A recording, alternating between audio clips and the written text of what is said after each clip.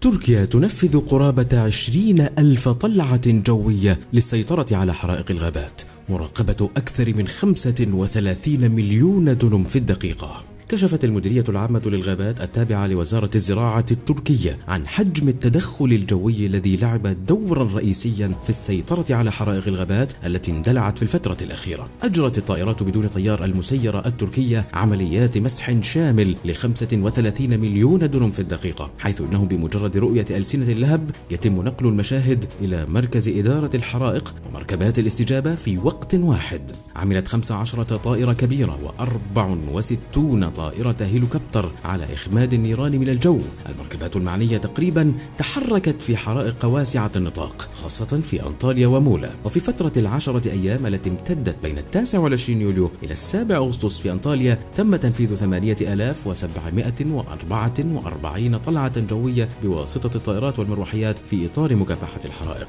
خلال الفترة المذكورة تم إلقاء ما مجموعه 35410 أطنان من المياه في حرائق الغابات في المدينة. 20900 طن تم ضخها في النقاط المحددة بواسطة طائرات الهليكوبتر و14510